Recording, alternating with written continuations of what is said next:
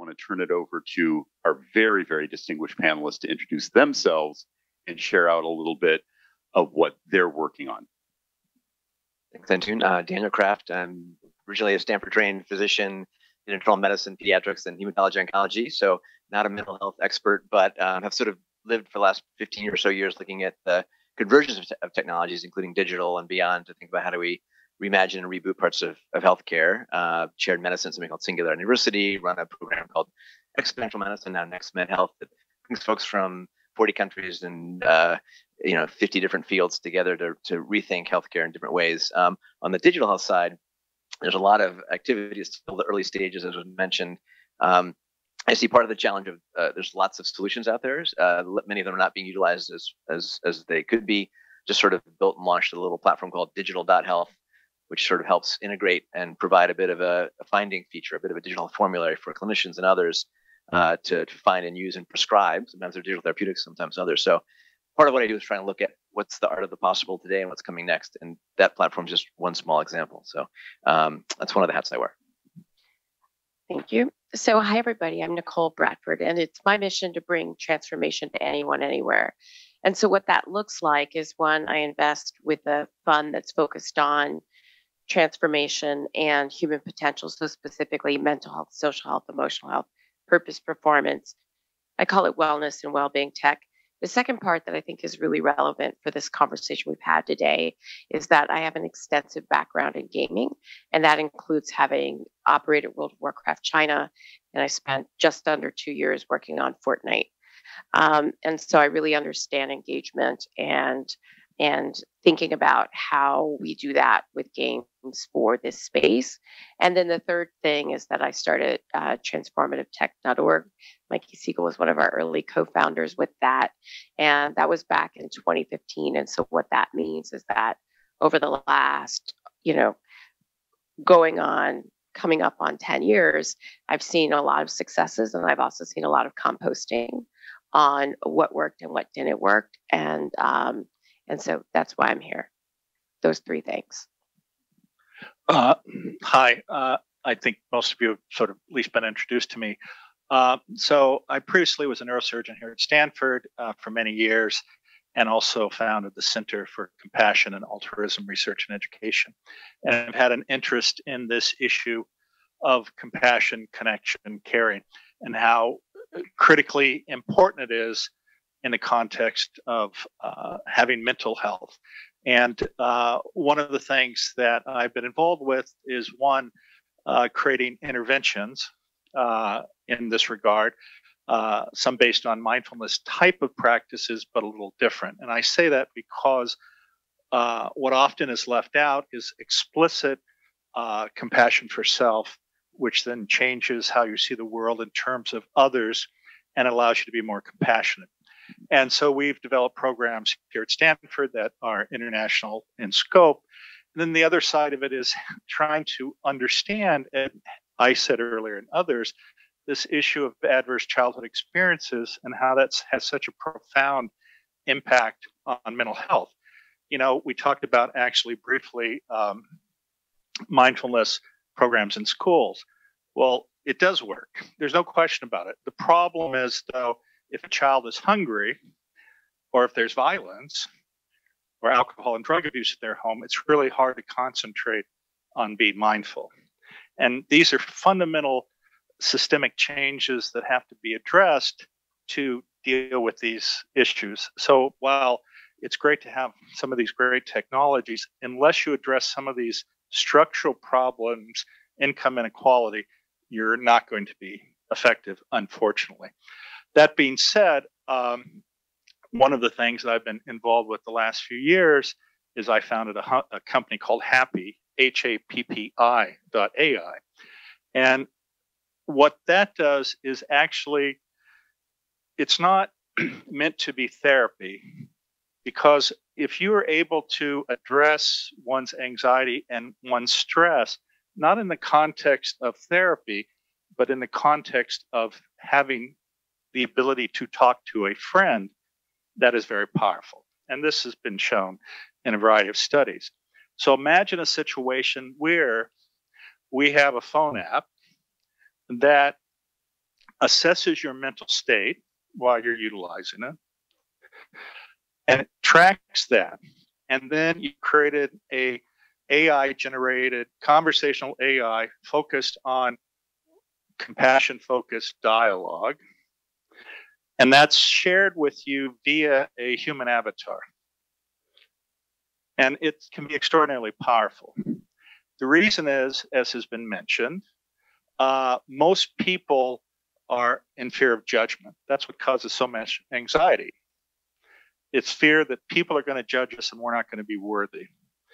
So having a avatar that accepts you for who you are is available for you 24 7 versus having to wait to the therapist to see them for a week or so when you're already boiling over with stress and anxiety. But imagine you can talk to it anytime, even at midnight, and it just begins a conversation with you. Now, I'm trying to create an MVP on this, and this is a very complicated task, but I hope that the advantage of this is one that not only is it efficacious, but the reality is there are not enough therapists for us to all have a therapist. And uh, by giving people a tool that they see as a friend that is infinitely scalable, can be modified in terms of culture and speaks innumerable languages, then I think this is potentially a solution that can be highly beneficial uh, to a lot of people. And of course, one of the other reasons I'm here is to learn from all of you and my colleagues and um, see what the possibilities are in the mental health space. So thank you. Thank you and hello. My name is Danny Gladden. Um, I'm a licensed clinical social worker, uh, and I'm the general manager of behavioral health and social care for what is now Oracle Cerner. Uh, just uh, by way of kind of explanation, Cerner, uh, a a kind of big name in health IT, and Oracle, obviously a big technology company, combined forces and actually, as of October 1st, uh, legal entity combination occurred. And so we are now Oracle Health. Um, I'll be speaking, uh, being five days into the Oracle brand, I'll be speaking mostly uh, to to Cerner, but I also want to speak to you know the excitement of of Oracle taking a look at healthcare as a vertical in saying we want to materially move the needle in this space. And I was I was so happy that you know in, the in one of the first sort of public statements Larry Ellison uh, made a, around sort of why healthcare was a specific anecdote around mental health and connecting uh, the person who's in crisis uh, at 2 a.m.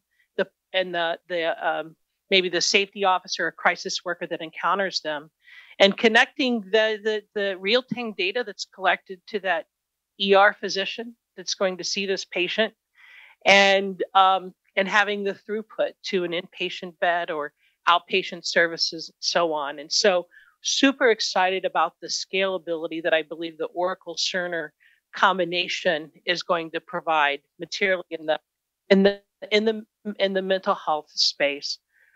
Um, so from from a Cerner perspective, we are um, an electronic health record, right? Electronic health record is uh, is a tool for the operation of um, of uh, of a of a practice, right? From registration and scheduling to clinical workflows uh, to um, sort of uh, reporting, analytics, um, regulatory privacy, data protection, um, and consumer uh, consumer pieces as well through say patient portals and things of that nature.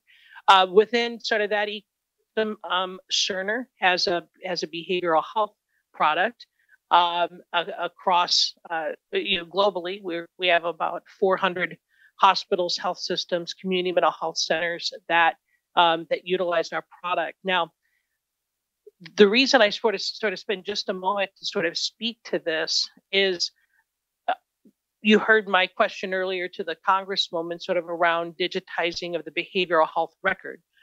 There's a consensus, I'm sure, in this room that data is important. It's important for research. um, but it's also important for continuity of care. And right now, there there aren't financial incentives for providers to digitize the record, and a and a you know uh, over half of providers in the U.S. are still documenting mental health services, substance use treatment services um, on paper. And so, in order for us to have complete connectivity, right, so that the the wearable technology that's being described and and the other sort of uh, digital therapeutics that's being described, uh, connected to an electronic health record, um, connected to health information exchange technologies, so that with your permission, regardless of, of where you go, um, you your diagnostic history is present. Uh, you your your treatment history is present. Your uh, medication history is present, and um, you don't have to sort of start from scratch, which so many so many of the, the patients and consumers that I've encountered over the years, one of their biggest frustrations is that they're constantly uh, being forced to retell their story. Uh, they don't feel heard. They don't feel honored. They don't feel respected. And so I, it's it's super important. Um, and I'm kind of beginning with the end in mind as far as my call to action is um, to digitize the record. Now, within an electronic record ecosystem, a lot of great tools to help with workflows, clinical decision support, using uh, data informed treatment, um, and, and, so on. But I w- I won't sort of kind of bore you with that. I will tell you, you know, I, I accidentally started using technology in behavioral health at the very start of my career. I sat in a room in St. Louis and did a biopsychosocial assessment with um, a member of the Tlingit and Haida community in Southeast Alaska uh, via telehealth and very, uh, very sort of rudimentary technology. And um, shortly thereafter, I, I, worked in Alaska for a number of years um, in some of the most remote, remote part of the state, standing up, um, standing up telehealth services. No doubt, telehealth can democratize access, um, but we have to ensure that that folks have the access. And, and a lot of times, some of the folks who are the heaviest utilizers of services, there's a real technology equity gap right? Whether it's hardware, whether it's bandwidth, or whether it's knowledge, um, we can we can create the best digital therapeutics and wearables, right? But if they can't get to the folks who are the most vulnerable in our communities, um, right, then we we got some work to do. So I love the scalability question. I love the like I'm I'm every speaker today. I'm sort of thinking through that lens. How do we scale? How do we scale? Um, and I think tech equity is an important part of that. Thanks, Danny. Uh, so we wanted to start with kind of the good news in mental health treatment. And if I could ask each of you, know, tell me what you're working on that you're most excited about. And if you could please tie it to patient outcomes, you know, talk about what we're really doing for patients, what these technologies are actually able to achieve in the clinical setting, you know, today or what you see is going to be achievable in the next couple of years. Let's let's get everybody to understand just how much progress has already been made. Dan? Well, I'll start with the sort of reminder that we live in this, you know, accelerating exponential age. What's possible on our mobile phones or smartwatches is quite magical compared to a decade ago. And the next 10 years will look, make the, the next look slow. There's there's a tendency to underappreciate exponentials, but also sometimes over uh, uh, think what's going to happen next. There's Amara's law. We tend to under, underestimate the next couple of years, underestimate the next decade. So I think it's exciting to look at the next decade. What I'm most interested about or thinking about the art of the possible is to put together, you know, we've mentioned, you know, from wearables and microbiome and genome and our digitome to start to mash those up. This idea of the digital twin, I don't think has been measured mentioned yet, so that we can start to uh, put that together in a meaningful way so that we can optimize care on the continuum from putting my pediatrician hat, you know, early intervention or prevention or inoculating kids against mental health challenges all the way to that's possible on um, common or severe mental illness. So um, I'm involved in advising a few companies that are doing interesting work, like uh, an investor in a company called Meru Health, which is scaling uh, digital interventions with real psychologists for for anxiety and depression. Or uh, um, the issue on on scaling is often bringing not just data but insights. You know, we've got lots of data, but no clinician wants the raw data. They want the insights that they can leverage in their workflow, or the patient, or the caregiver, or the human. So I, I think an exciting example of the, the edge of that today is um, a company called Stuff That Works Health out of Israel that's sort of building a, a Waze or Google Maps for health, where you can share what's working or not working from everything from psoriasis to depression to anxiety to uh, rare cancers and, and makes crowdsource that information to the point where it's useful to you, patients like me or patients like mine, uh, and then integrate that into clinical care. So those are a few examples, and I think the proviso for all of us thinking with the end in mind for a decade is to think where things might be with AI, robotics, the 3D printing to nanotech to voice as a biomarker uh, to the $100 genome, and, and how do we put those together in ways and not be stuck with our, our concept of what's possible in 2022. Yep. Daniel and I spend a lot of time talking to one another, and uh, we also invest in some of the same companies. So, what I'm really the most excited about, um, and and I'll focus on an area where I think I can add a different perspective, is that today, like everyone born today is a gamer, and half of the world plays games. Mm-hmm. Um, and so that's really where the population is, especially when we use words like scale. I think what's really exciting too is I feel after such a long time of, of having been in that space, I feel like the medical community is really um, thinking about it now.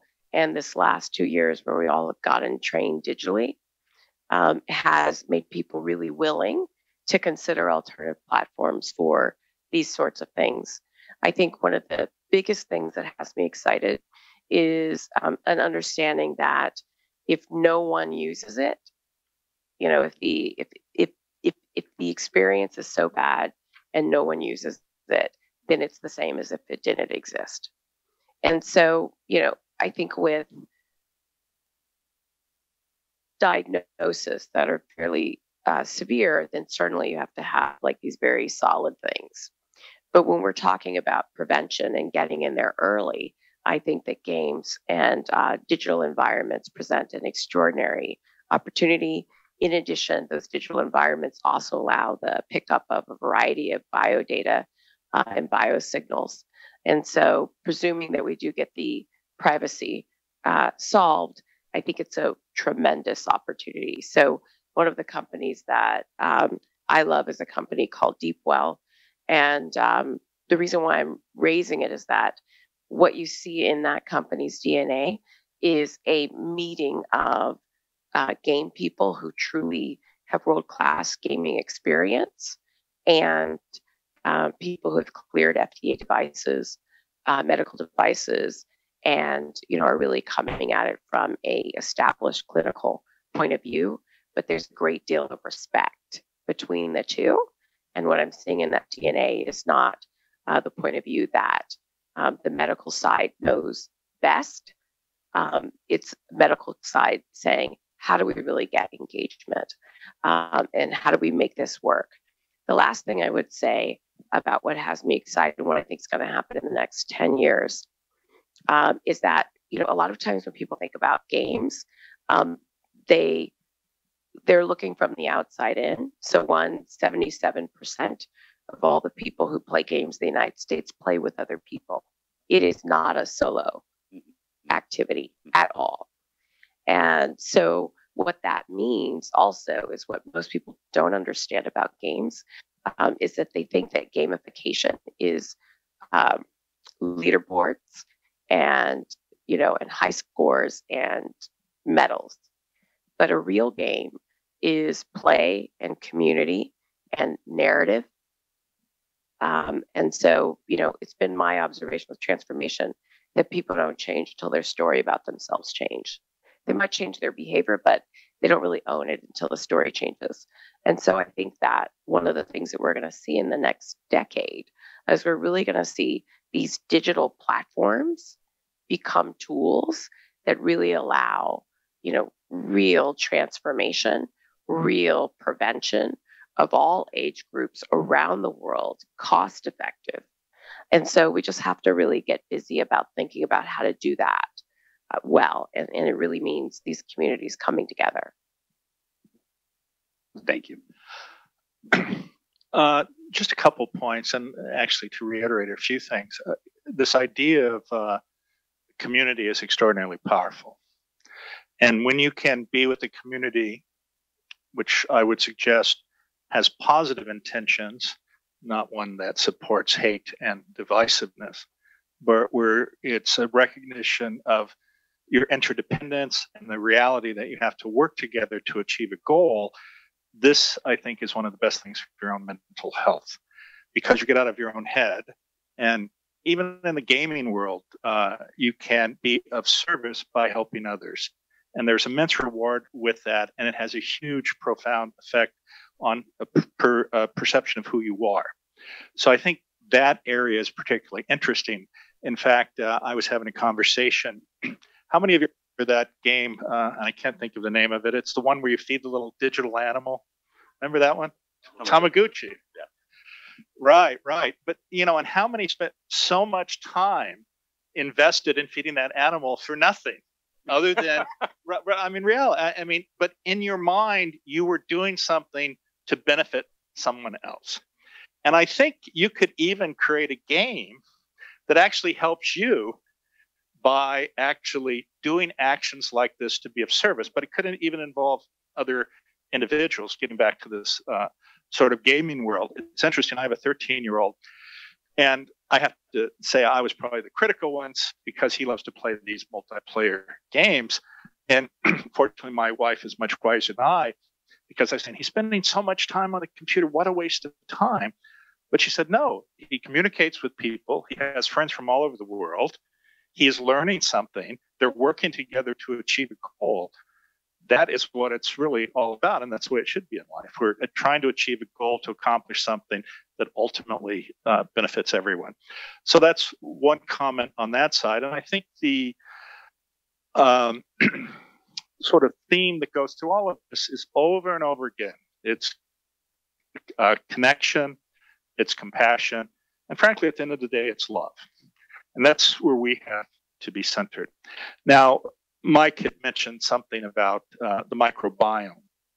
And actually, uh, one of the things that I've been interested in is this reality, because there's a fair amount of literature actually on how um, the microbiome affects mood and is associated in some instances with depression. And certainly we know that, especially with the modern Western diet, this disrupts our normal microbiome.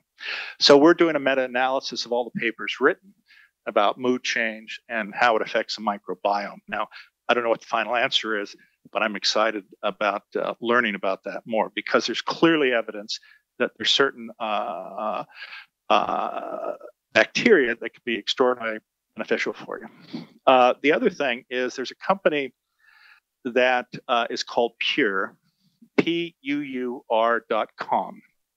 And I've been an advisor to them for a while. But the interesting thing about that is that this is a platform that allows you to connect with another person on demand and it asks a series of questions and you allow the person on the other end to answer the questions. You don't interrupt them. You thank them for their answer. And then it goes back in the other direction. And one of those questions is how does shame express itself in your body, as an example? And so some of these issues, which are actually going deep, and you can actually, again, getting back to this issue of being judged, you can actually do it anonymously with some people. But what's amazing about it is, I've seen this over and over again, these types of sort of micro communications that occur frequently have a profound, profound impact. And they're like these little nudges or habits when you start doing those types of things. And you have a person you feel comfortable with. And again, this whole issue over and over again of uh, non judgment. The other thing I would just like to comment on, which maybe is not so much digital, but maybe it is becoming digital, is as you all know, there's a plethora of uh, psychedelic companies nowadays, and there's one which I'm an advisor called Spinoza.co. But and this is focused primarily on psilocybin. But what we're seeing here is all these tools to gain access to how we change our mind. And we talked about adverse childhood experiences, which the reality is that what happens is you start carrying baggage with you throughout your life. And that baggage affects every aspect of your life. It affects your food choices, it affects your partner, uh, and a whole variety of, of other things, but it happens at an unconscious level. But it's still baggage you carry with you.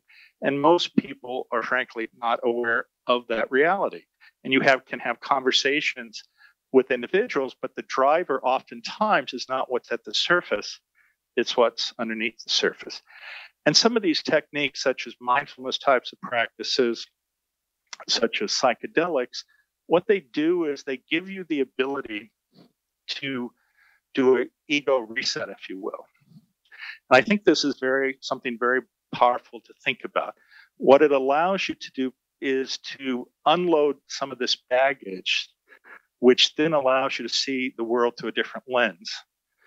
And when you're able to do that, you recognize that everyone else is suffering. And when you recognize that, then of course, that allows you much better ability to be your authentic self and connect with others. Because that's why you look at the data from the blue zones, right? These places where people are, are living to over 100. Well, I know you've probably seen the millionth cookbook on the Mediterranean diet, which obviously I don't practice. But um, but what I would tell you is by far and away what is more important than anything.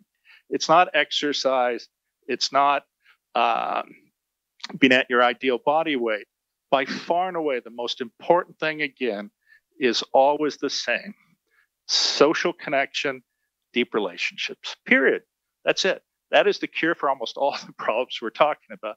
So, the key here that we need to focus on is how do we get there to offer that to people in a seamless way, utilizing whatever technologies are available or whatever tools there are. And just from the conversations we've had, there are many ways to get there. We just have to figure out what works best for that individual person. And I think when we do that, then we'll see a true renaissance of a lot of these uh, therapies. Thanks. Thanks. And, in the interest of time, I want to get us to the, the next portion of the discussion. Dan, I know you have a quick comment. You want to jump in? And I was going to say one technology that feeds into gaming and social connection, which hasn't been mentioned yet, is sort of where virtual reality is going, the metaverse for good and bad. Um, there's ways to, I think Jeremy Bailenson at Stanford showed that if you were Superman flying around helping people virtually, then you're much more socially connected and able to be altruistic in your real world. Um, I spent 100 days early in the pandemic exercising in a game called Supernatural, which was helpful and has a sense of community and gamification. So I just think it's worth watching that space to enable some of these tools. There's even uh, uh, Tripp, T R I P P, a sort of a game that sort of tries to be psychedelic elements. So. Thanks.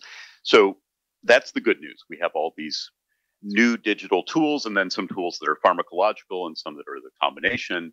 Um, now let's talk about the bad news. Uh, so I think the first time I ever saw any presentation about personalization, using data to personalize the treatment of depression, for example, during pharmaceuticals, I think probably was in 2015, 2016. Uh, and there was a group at UCSF that had developed what was what they believed to be a digital biomarker. And they were using accelerometers and your and your smartwatch and heart rate and heart rate variability, and they were able to make some prognostic prognostic predictions about the course of your depression scores, and importantly, able to identify digital phenotypes that would predict your response to different SSRIs. Okay, so that's been around for a while. Now there are two companies, Feel and Health Rhythms, uh, that have managed to bring the predictive potential of these uh, types of algorithms up to the point that they're clinically recognizable as something that can drive treatment. They have FDA approvals under the medical device side of the regulatory scheme to enable physicians to more precisely choose the right medication for the right patient for treatment of depression and anxiety. Almost 10 years to get from that very first paper to the FDA approval. And as I'm sure many of you in this room know, if you go to a physician today and say, "Hey, doc, you know, I, I can't get out of bed. I'm not enjoying any daily activities. My sleep's all disrupted." You know, they may give you a questionnaire on paper. They may tell you to go to a website to take the questionnaire, but very few physicians would say, okay, great, let's get you this digital diagnostic. Let's figure out which depression medication is the right one for you so that you can get rapid relief. So I think that's part of the bad. That's one facet of um, what I view as the global challenge around these digital technologies, which is how do we get regulatory authorities to recognize the value? How do we educate physicians on what's possible and get these things integrated into standard of care? And not just at you know elite tertiary academic institutions like Stanford. How do we get that down to every community every physician no matter when they graduated from medical school or when's the last time they went to their industry conference? And then how do we get those treatments paid for so that patients can engage with the best possible quality of care without fear that they're going to hit get hit with some bill that they simply can't pay. So I think we have multiple facets of access challenges and scalability challenges. Um, and I'd love to have our panelists, of you, speak to how we can fix those and what, and if you can, what you are doing with your companies or your organizations to whittle away at those access challenges. I might I might start with that here. Thanks. Yeah, um, so so uh, I think a couple of points, and I'll, I'll kind of I'll I'll kind of do the good and the bad, and I'll go quick. I I do want to mention one of the very positive things right now, um, and sort of this broader discipline is uh, 988, um, the national sort of three-digit number for the suicide uh, suicide lifeline, mm-hmm. um, and also the use of technology to access crisis uh, chat and text in real time. Um, also, uh, a positive in in sort of the EHR workflow uh, is is universal screening of uh, uh, the Columbia protocol, for example, or or depression screening. Right, 100% of patients being asked. The the con is we have a taxed system. Right, where are these patients going to go? Uh, the con we we have providers who who um, who are doing their best and, and sort of asking about suicide, but but don't have sort of the training um, to sort of okay work with someone to build a collaborative safety plan.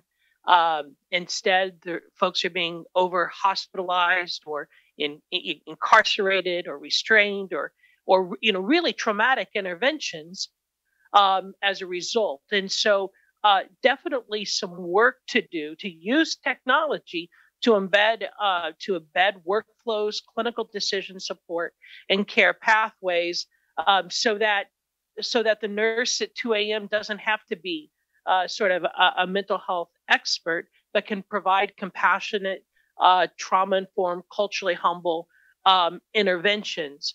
Um, so I think um, I, think that you know, and I just will say one more thing about um, you know, kind of the the the bad side of where we are with technology. It just concerns. I mean, I just on the one hand, I get so excited about all this great work, and then I think about the folks um, in in Nome, Alaska, right? And how does the science reach them? How does the technology reach them, right? And you know, how do we get outside of sort of the academic health systems so that the research and the technology you know, can reach folks who aren't very profitable um, in the in the sort of the healthcare delivery model. Well, that's great. Thank you. Um, just to make a couple quick comments, the life of a family practitioner is very challenging, as is a pediatrician. It is overwhelming, and you know we talk about uh, uh, looking for this, looking for that, getting insights, doing this or that. Well, you know, if you have 15 or 20 minutes to see a patient, in no way do you have adequate time to understand these issues. And again, this is another fundamental structural problem which contributes uh, to a whole variety of the issues we're talking about, which is so how do we fix it? Uh, I'll get there. Well, I think uh, how many uh, are, are, people are physicians here, and how many of you love the electronic medical record? well, well, I mean, to be bluntly honest with you, that is one of the most useless consumers of time of a physician, and nothing separates you more from your patient than typing on a computer and being limited to 15 or 20 minutes to interact with the patient. It is a complete waste of time, which separates you from the patient. What you need to do, and there's a, a Francis Peabody said in 1927, the care of the patient is caring for the patient. And I'll tell you a really quick anecdote about this. I would have patients come to me because of this compassion work that I do. They have no neurosurgical problem whatsoever. And literally, they would come and and they would tell me that they go, but I just wanted to talk to you. And so the whole time I'm with them, I'm going, uh huh, uh huh. It's not your fault. You know, you shouldn't carry this with you. It's not because of you. And at some point, usually about five or 10 minutes, they have a cathartic breakthrough. They burst into tears. And then I have to hold them or hug them for about five or 10 minutes. Now, that's not my job as a neurosurgeon. but my point to you this is what people crave. They want to be simply listened to. And I think that is the solution is listening to people and having the time to do that. I, I think you have someone here left that wants to be listened to. I know you have a great answer. Yeah. So um, on so you all know on the pro side, I deeply believe in technology. I think it will address a lot of the cost, especially in some of the ways that we've described it so far. What I'm concerned about is hypervigilance and how the all of the feedback is getting like you're starting to see the beginnings of hypervigilance where people are getting anxious with all of their devices. And i'm concerned about privacy um, because we are so revealed by these things the signals that can be picked up that it's very important i think for people to know that their data is safe that it won't be used against them. But then we also need the large data set. This was what the previous panel talked about um, so I think between those two, I think it's sort of, you know, the technology is also the answer, and uh, we have to mitigate some of the downstream effects of it.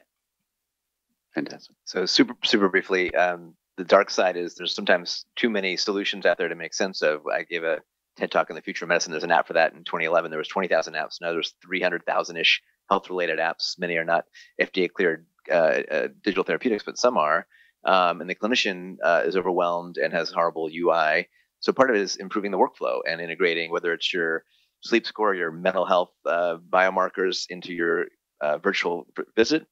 Um, so one of the things we're trying to do to address that with digital.health is to create that formulary and start to match the solutions that match your patient's needs. A patient with anxiety, maybe I prescribe Headspace, maybe that gets paid for. Right. Maybe it's an Oura ring to track and optimize sleep, but that data can flow back in a feedback loop that's not just the data and overwhelms me, but highlights those patients who need uh, high touch, virtual, or in person. So um, there's a need to sort of synthesize that and up, up level ones that work and match. Yeah. And I, I think that's a great catalog that physicians can look at. And now we need to make sure all physicians know to go look at the catalog. Or, or, or, add your solutions there. It's easy to add the ones you have. It's still growing. Yeah, please do.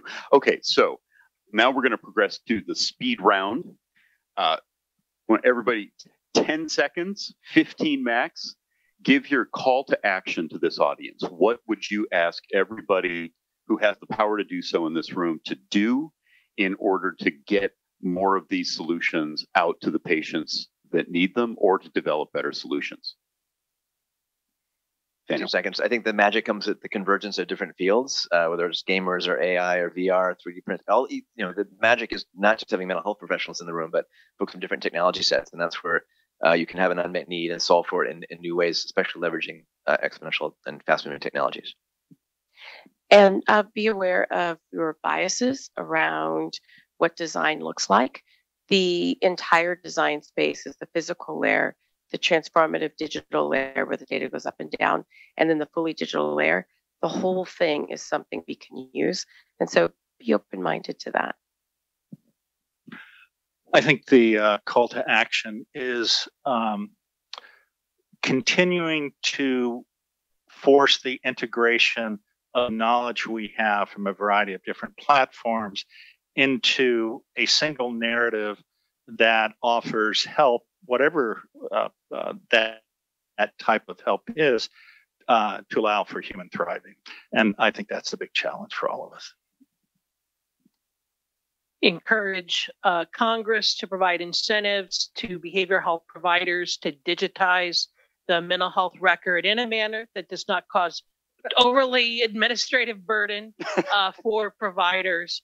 Um, and um, add me on LinkedIn, linkedin.com slash Danny Gladden. I'd love to collaborate with you. Fantastic. Thanks. Yeah, you can call me too.